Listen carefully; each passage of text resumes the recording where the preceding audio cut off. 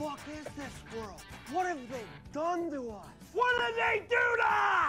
Hello boys and girls. I made this video a while back and I showed it on WTF Live.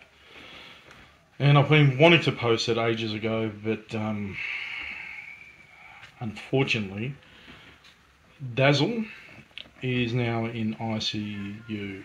Um, those who don't know her plight, she has been refused a double lung transplant because she is not you know what. So, anyway, this is the idea I came up with for raising money. Um, so it's a fun sort of little video that I made, but obviously the turn of events has put a bit of a damper on things. So I'm wishing Dazelle all the best wishes, and I'm not religious, but I'm praying for her.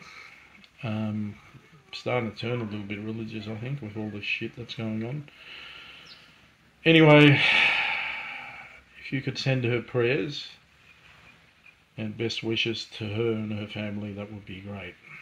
Here's the video. This is terrible. Look what someone's doing late at night.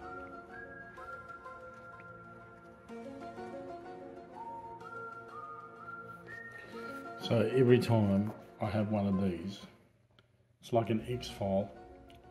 I go outside and there's more chalk daisies on the concrete. Let's go have a look. And I just found out that chalk doesn't last too long. That's two sticks worth there. Two sticks of chalk. Can you believe that? Really not sure what's going on, but every time I pop out into my street, um, I have one of these. I have one of these guys, um, and I'll walk back out. This is a strange phenomenon happening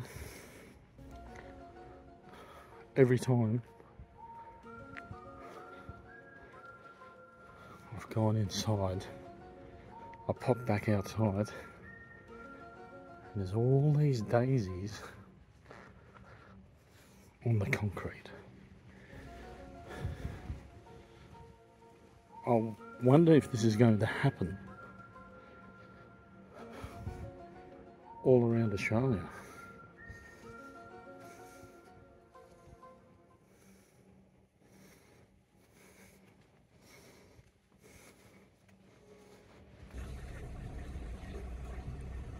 So phenomena like this is popping up all over the city.